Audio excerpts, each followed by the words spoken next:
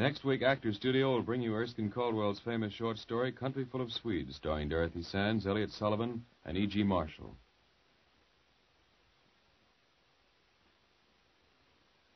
This is CBS, the Columbia Broadcasting System.